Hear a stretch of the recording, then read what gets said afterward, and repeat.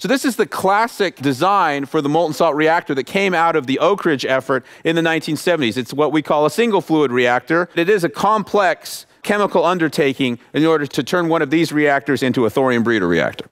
There had been Oak Ridge studies done on what's called the two fluid reactor. And the two fluid reactor is fundamentally different in that it separates the fuel, the uranium 233 fuel in FLiBe salt, from a blanket FLiBe salt carrying thorium tetrafluoride.